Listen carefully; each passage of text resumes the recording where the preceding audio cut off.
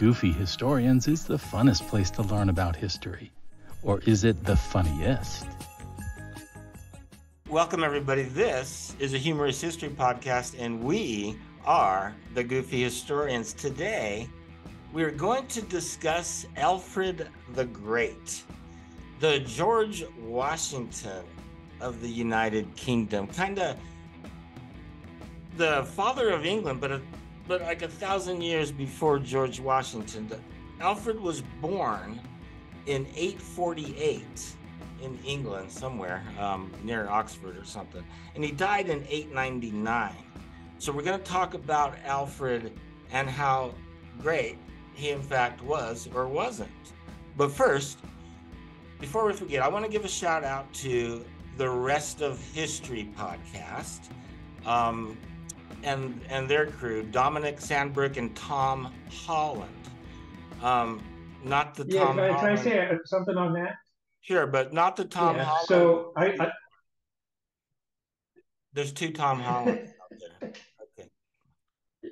Yeah, yeah, he's the histo- well, he's he's he's uh yeah the, the historian Tom Hollands. So what's interesting is they have a two-hour podcast on this very subject and they're English. They're both very English, right? And uh, if you ask any American who Alfred the Great is, and they won't have a clue, right? It's like they go, no, what? We don't know. But if you ask an Englishman who Alfred the Great is, you know, they've been marinated in this history since the time they come out of the womb. Man, they're just force-fed Alfred the Great. And when you get that much propaganda that early in your life and it continues through you know your educational years it becomes part of your reality right? And there's so they come to the conclusion of course that alfred is great because they're english i mean Right. they've been brainwashed even though they're so they're so intelligent right? This is like the optimum of intelligent people but they're brainwashed and they think alfred's the great. So we're going to do the same thing. Obviously we haven't been marinated in alfred the great but we've been marinated in Washington, right? And so, but like you said, that's only a couple hundred years ago, as opposed to a thousand years ago. So we, I don't know about David, but I don't come to the conclusion that Alfred the Great is great. I think he's he's, he's good, but he's, he's Oh. not great. Not in the Oh, terms that's of a- Charlemagne or Alexander or That's Cyrus. that's in, that's interesting because uh, I'm going to take the other side on this. I, I lived in England for a while, uh, but but to continue on, we also want to give a shout out. Um, this will be more in the second part, but to Dan Carlin's new five-hour epic show on the Viking that covers 300 years of Vikings from Charlemagne to the Normans. It's called The Twilight of Aesir, and definitely check that out. The third thing I want to mention a shout out to is Netflix. Netflix movie The Last Kingdom talks about Alfred the Great, the story of it. And although at some point he's almost the Alfred, the story of Alfred is almost a backstory compared to Ulrich, the Viking guy. But anyway, it has a lot of historical accuracies.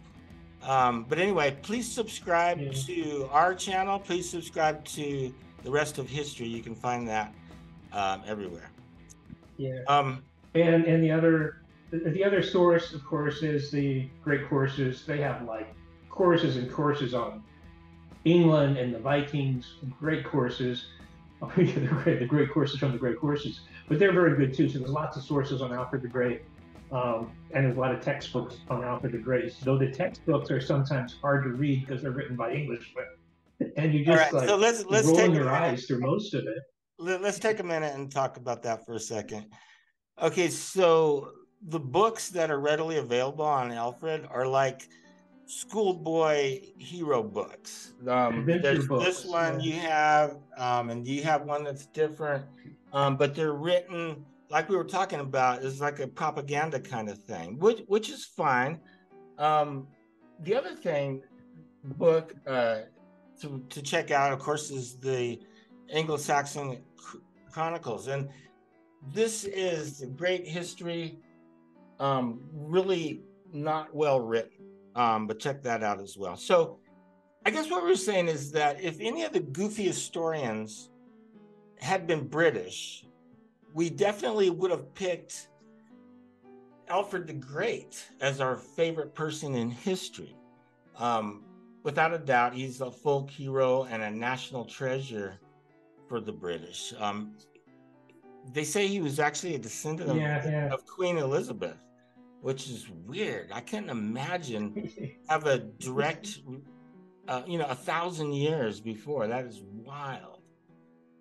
Anyway, okay, so Alfred yeah, the yeah. I just want to say so something about, but yeah, it, it is. I mean, he, he did influence England. I mean that that that's why they got ants in their pants and thought they were deserving of taking over the world, right? It's like they weren't, right? It's like you don't need a world empire. You know, you're not that great.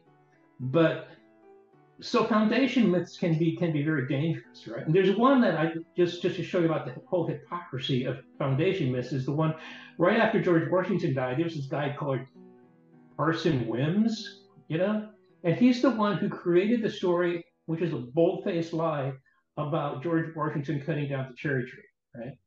And you know, he says, "Father, I will not." And obviously, the story is to inspire love and faith and make you good American citizens who don't lie, right? But the story is a lie, and they called him on it, right? So I mean, just the whole hypocrisy of someone using a lie to teach people not to lie, right? But the problem with that is eventually, well, the English never did find out, and, and a lot of people in the United States don't know. They Okay. still believe that cherry that Washington chopped down the cherry tree. Okay, all right. Yeah, eh, but that, that, that that's going off. We need to get back to the Anglo Saxons and that. We'll do another one on George Washington. Yeah. Okay. So foundation myths and you know origin stories, um, they have their purpose. Um, so Alfred was the youngest of four brothers, and he had a sister too. Like I said, he was born in 848. Um, I guess you can talk more about this, but during this time, the multiple kingdoms of the Anglo Saxons had been defeated by the Danes as Vikings, as opposed Norway and Denmark Vikings, not Swedish Vikings. They went the other way, and we can talk about that more in a later uh, later on. But Yeah, we So- do one on the Vikings. Yeah. right. So Alfred became king during a time when the um you know the Viking invasions were just were just happening. And and I don't know if you want to jump to the part where he um it- it's kind of the, the famous the, the famous battle um what is it chippendales or something where the vikings attack Yeah, yeah. christmas That, that's how I remember it. but it- it- It's not. not We chippendale should. We. The battle is No, something that, the vikings come that. like on christmas day like during the 12 It, days it, it's it's it's and they wipe out it's it's it's Chippen Chippenhounds homes or something. Chippendales is the male dancers in Las Vegas. well you don't know what they that- were That's why I thought it was. you don't know what they were doing on their christmas festivities anyway That's, that's right. That's why it's so funny. But can, can I? We just stop. We just let- let's just give a little. I'll go through a little of the backstory so it makes sense. Okay. okay go And ahead I'll be quick. I won't. I won't be like an hour worth of history. But 400, the Romans left his left England because the Roman Empire was falling apart. The Celtics took back England, became heathen again, right? They were partying, but straight away the Anglo Saxons and the Jutes showed up, and they were the Vikings of that time, right? About 500. They came they destroyed the Celts. They pushed them to the east or to the west, and they the the Anglo Saxons took over England, right? And as a matter of fact, they were the original gangsters. They were the original Vikings, right? But they they they went native.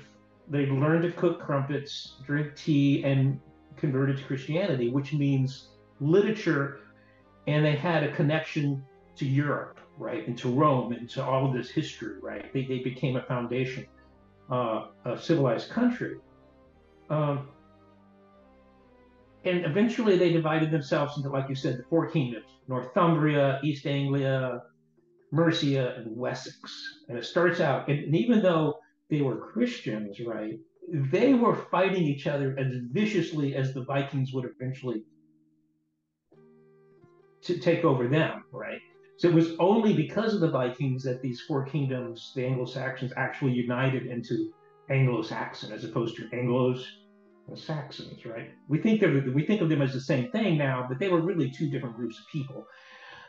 Um, so the first one was Northumbria. They had the power, and they and that was when so about 800 the the new Vikings come, right? From North went from from Norway, Norway, and they started. Uh, actually, initially they just started raiding and trading. Right, there was trading going on too. Actually, there's one story of this uh, these Norwegians who kidnapped an Irish boy and then sold them to a group of nuns who who, who used them who used them in not not very Christian ways. So there, there was trading going on before that. But uh, one of the at one time the Vikings show up on the coast of northern England and Northumbria, and they realize they forgot to bring trade goods. Right? So they show up at Lindisfarne, and since they didn't have anything to trade, they just went up to this this this this this monastery and took all the wealth and killed the nuns and everybody. And that was the beginning of the raids. And those raids started. That's all they were. They were raids. But eventually, when the Vikings realized how easy it was that these that, that these Anglo-Saxons had gone soft, right? That everybody wanted in on the loot. And eventually it stopped being just raids and they came over in force. They came over with hundreds of ships with their wives and kids and like grandma like strapped in her little rocking chair to, to the back of the boat. They were coming to stay. And right. They begin they, they begin to winter.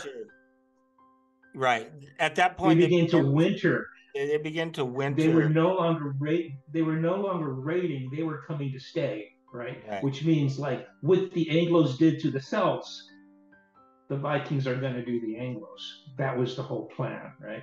And first, so the first guy they run into is Edward of East Anglia, right? And he says, he pays them off, gives them horses, and tells them to go north, right? Go north to Northumbria, get out of my country because Northumbria has more gold than I do. So they do. They, he goes up and takes over Northumbria, and then they turn around and come back to East Anglia, right? Which wasn't part of the deal, right? And so he says, "Well, you can't pay him off. I guess I'm going to have to fight."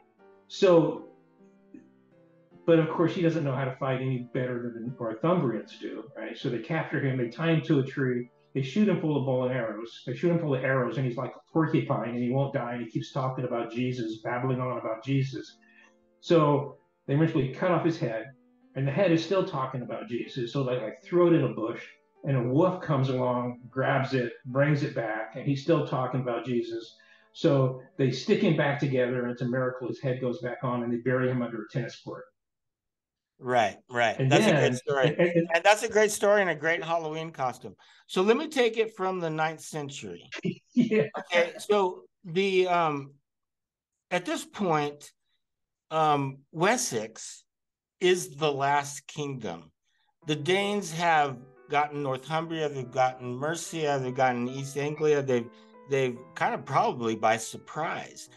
And they're in control of everything except Wessex. So now King Alfred is the king. I wanted to say something about King Alfred for a second.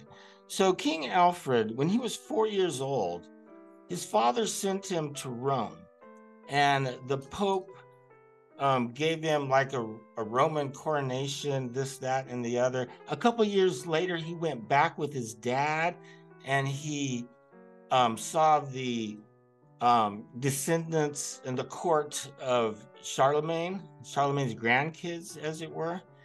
Um, so Alfred kind of had this, he was probably on his way to become a pope, except all of his brothers died because the Dark Ages were, in fact, dark. So, anyway, jumping ahead, Alfred's king, he's the last kingdom, and he thinks that he's paid which, which, which, which is a, which which is which is the name of the uh, of the Netflix series. Right. He's the Last Kingdom Netflix series. so he thinks, like you said, that he paid them off, gave them horses, and they went north to Northumbria. Um, and that's when it takes us back to the, the battle of the the Chippendales. I know that's not the right word. Anyway, almost, so, almost, almost. Can I just jump in a little bit? Because it, okay, it is funny. I'm going to get to this, the tale of the marshes. I'm going to tell the tale of the marshes here in a second if you let me get to it. But go ahead. Yeah, but you get that, that you're, you're, jump, you're jumping ahead. Let me let me let's get. We're going to jump back all the way to the because... Vikings before this, so it's okay if we're jumping around. Go ahead. okay, so the, they've taken Northumbria, they've taken East Anglia, and the king of Mercia is still there, right? But he sees what's happening, and so he takes off. He takes off with the loot and moves to the Spanish Riviera or somewhere and lives the rest of his life in peace, or the Italian Riviera. So he became a he became a monk, right? So Mercia is gone, right? And and so the just the to jump in there, just to jump in there, he wasn't the only king that did that during that time. There was a lot of kings that were just like, oh yeah, it was the smartest thing to do. Yeah, that's yeah, smart yeah. But his wife stayed on. His wife stayed on and, and sort of was was the king of Mercia for a while, right? So that's when. So so okay, okay, okay. Oh, oh originally the one who went up and conquered all the thing was Ivar the Boneless, right? Which is a great name, and apparently it was because he couldn't get an erection, right? And so, which really pissed him off. He just had a bad attitude. And he went up to the king of Northumbria and threw him in a snake pit of vipers, and that's how he killed the king. And then he gave somebody a blood eagle. Uh, there was a lot of stuff going on. But he goes back and then he goes up and takes oaths. But the time he's, by the time they take Mercia, he's gone from the scene, and this guy called Guthrum took over, right? And he's the one who's going to be Albert's, and he's the one who shows up in the last kingdom of Netflix. He's going to be the one who's going to show up at Chippendale and do a dance routine with with Alfred. Right. So, so, so, I just wanted to fill in that fill in that link a little bit. Right. Let's talk about the. We, so and we're going to talk. We're going to talk about Vikings a lot, um, both before and after this, because there's a lot of great characters. But right, yeah, the the boneless guy was first, and then Guthrum um, is a famous character, and, and he shows up in Netflix's Last Kingdom too. He he's this giant dude. Um, but anyway, yeah, so he's, he's like Hagrid from from uh, yeah. So it's huge. So Alfred thinks that he okay. A couple things here. Alfred didn't run off like the other kings. That says one no, thing. No, he didn't. He stayed. He stayed. He stayed. And um, we're going to talk about the second part. You're going to, of this, you're going to uh, eat your words because Alfred does end up being great. Anyway, right now, he's got to learn how to be king. And he's failing because Guthrum comes on Christmas and Alfred doesn't even have time to to fight back. He's got to just get out of there and he takes a few of his, you know, he people skedaddles. and skedaddles, and then Guthrum comes in there and he's like, "Oh shit, Alfred escaped." So Alfred is on the run, and this is where the English folklore fairy tale comes in. Alfred's on the run, and he goes to the marshes.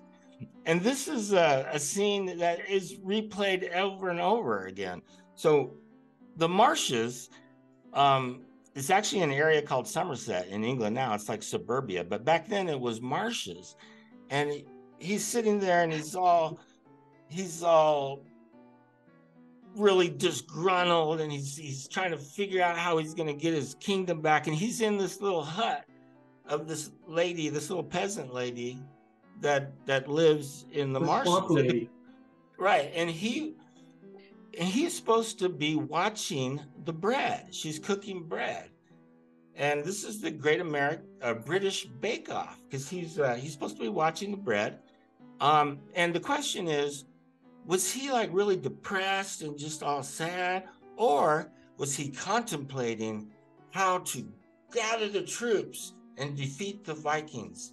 Anyway, we don't know. But what we do know is that he burnt the bread and that is, like you said, how Alfred yeah. got called the Great. for the first time, it was like, oh, great, Alfred, you burnt the bread. So it turns you, out you that burnt, Alfred, you burnt the crumpets, right? you burnt the crumpets. So he mm-hmm. wasn't yeah, a and he, good, he wasn't a good baker of bread.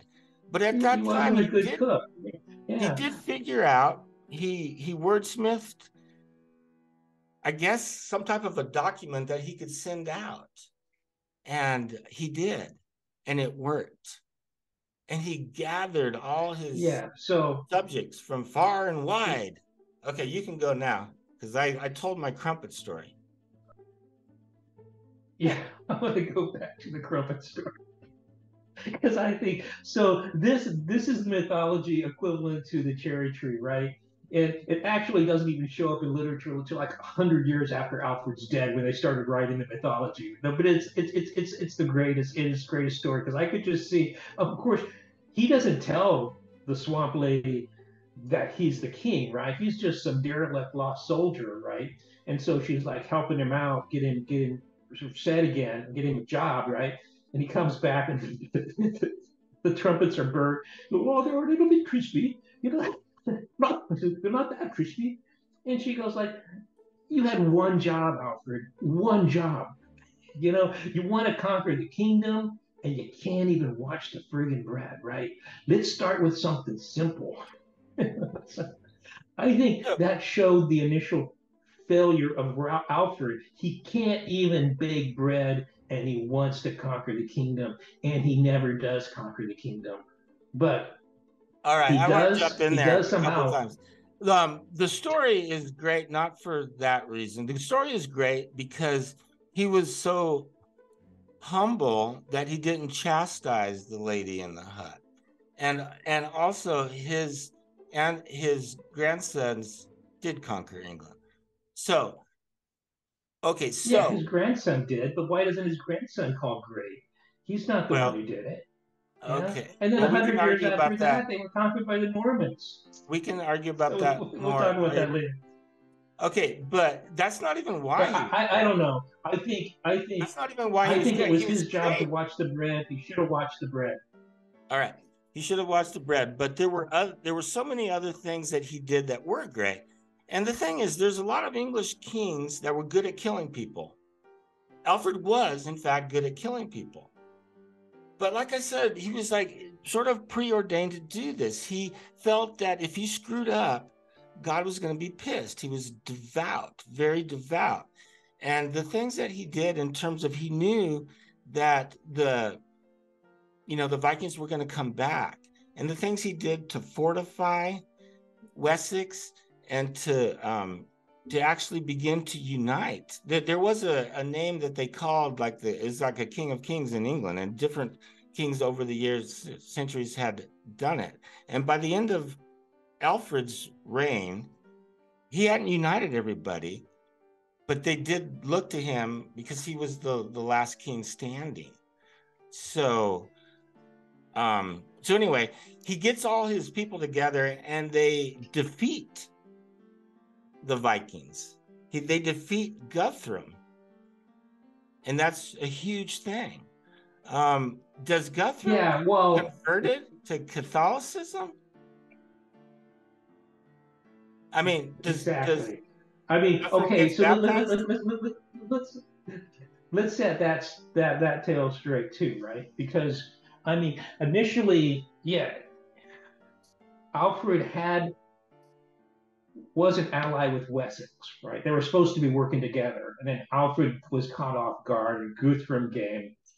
But when they when when they finally met, you know, Guthrum on the battlefield, and and they they did their shield wall stuff, right? Which is a lot of great Netflix battles with the shield wall, which is just ridiculous, right? That's that's that's that's a stupid way to have a battle, but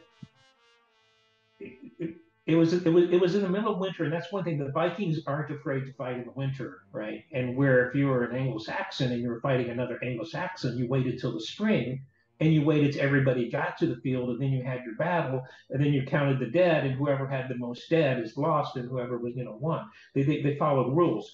Anglo-Saxons fought in the winter. So this happened at Christmas, right? When, when, when they were fighting the Chippendales. And now it's not too much later, right? They're fighting Guthrum again in the middle of winter, and they're cold and they're wet and they're miserable, right? And so they fight, and finally Guthrum and Alfred said, "Okay, let, let, us just call it." They didn't. It wasn't like a great victory. They called a truce, right? right. And this is where he he tells you, "You become a Catholic, right? And I'll become your godfather, right?" So you have right. like this ten foot tall, ten foot tall, like huge, massive Viking, and then you have this little scrawny Alfred with his stomach ailments, right? his worms in his stomach and stuff. And then, he becomes the godfather, right? And then he says, okay, let's split Mercia. You take half of Mercia, and I'll take the other half of Mercia, right? And so he's like, he like sold out Mercia totally to the Vikings, right? You know, he and I mean, maybe that was all he could do at that time, but it's still he sold out. He was a sellout at that point. And I think maybe that was the best thing they could because remember, East Anglia is gone, Northumbria is gone, and now Wessex is gone, right? And so all he has left is Mercia, right? And then he paid him off with Danegeld. He paid him off again, right? Guthrum to leave. So it's not like he was a great battlefield hero. First, he sold out sold out Mercia. He's like, take Mercia, right? And here's some money, and just leave me alone for, for five years. And that was the last king standing, right? But, but but it was more of a negotiation victory. But I think what makes what makes Alfred great is what happens what happens after that. What right. he did with that that five years of reprieve.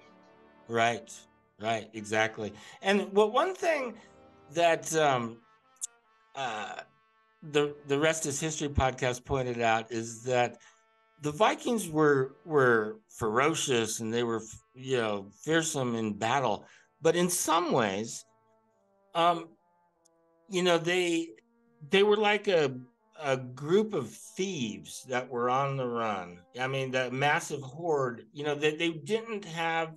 Um, sometimes they didn't fare so well in a pitched battle. You know. Um, so anyway, yeah, uh, Alfred. Yeah, I think that, but that at least Alfred they, showed up. They, they, you know, at least Alfred showed up to the battle. Yeah, I mean, they, they, they sick, ailing man, and he's like, yeah, they there. Yeah, yeah. So when they had to go from raiding, they could do raiding, right? They they could do raiding. They were good at raiding, getting in, going fast, like you know, you know, getting in and getting out which is what which is what Alfred did when he was running around in the swamps, right? He he, he became he became um, the Swamp King. He, he became a guerrilla fighter, right? And it turns out he was really good, like like like Mao or Washington, you know, or uh, Ho Chi Minh, right? Really good at that, right?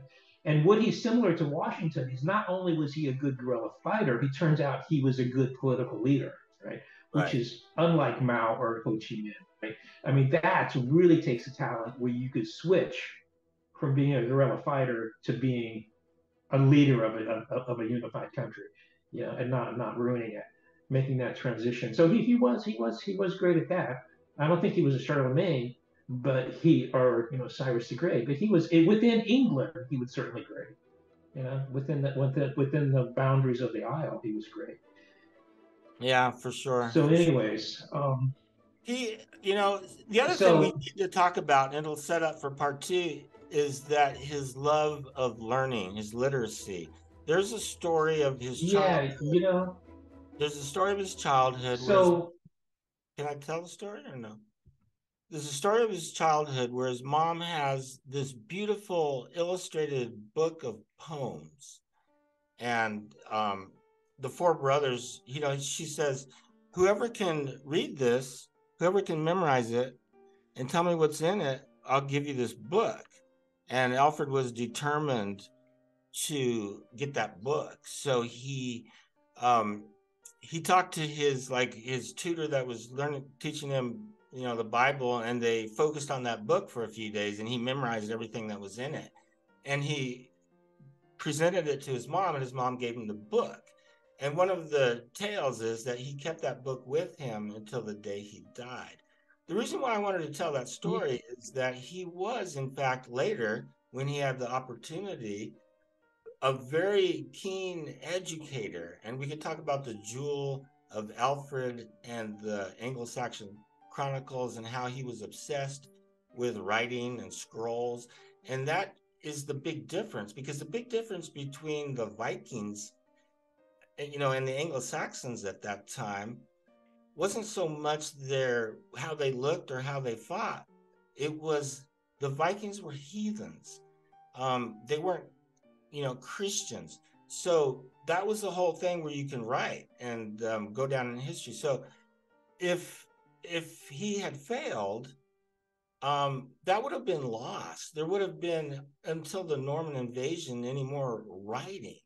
So that is, uh, you know, an asset to. Yeah. So yeah. So Christianity was was like the state of the art in terms of in, in terms of any type of uh, um, any type of writing or skill, right? Like Christianity was like the Fox News of that time, and that's all there was, right? So, I mean, but the other thing you got to remember is that Alfred, and the, the, pictures it picks this up in um, in, in the Last Kingdom on Netflix really well too, is that Alfred all his life was infested with intestinal parasites, right? He had he had bowel problems, which means he spent a lot of time in the latrine, right? And they didn't have sport pages, right? So what was he going to do with all that free time sitting on the pot, right? So he was probably reading, right, that book of poetry for hours a day while he, while he was sitting in the latrine. And so if he didn't have that bowel problem, maybe he would have been out with his brothers, you know, hunting, you know, or, or going on raids, you know, and, and, and becoming more and more militant. And also remember, he, he did go on the, the the the pilgrimage to Rome, right? So he actually saw what a what a real civilization looks like. He spent time with the grandsons of Charlemagne, right? So he was much more cosmopolitan than than his brothers were. So he was he. So there is that. So when he finally got his little kingdom, he knew what to do with it. He saw what Charlemagne was trying to do. He saw what the Romans were trying to do. He knew about roads, right? He he he, he knew about you know laws, right? About getting you know, and, and he knew how to uh, use the Twitter of that age, right? Writing, right? I mean, he wrote his own biography, right? So you know so he he was creating his own mythology right? And so i mean that that was that was smart. I mean he you know he he he he, he was a myth, builder of his own creation right? And, and anglo-saxon chronicles were created by him. So all he had was good press literally right? And you know historians now have to sort of you know and and he had and he had an enemy right which is right. great. What you need is an enemy that you can dehumanize, right? Just like the evangelicals want to own the libs, right?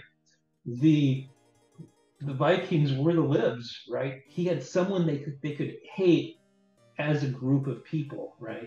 It's like yeah, these course. are the bad people. We have to own them. And so there became a differentiation between us and them, and he could write and the Vikings couldn't.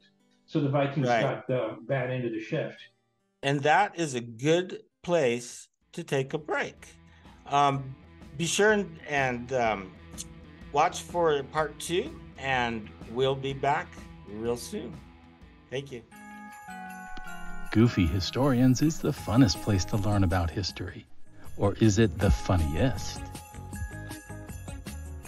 Does history repeat itself? Eh, not really. But sometimes it kind of rhymes. Thank you.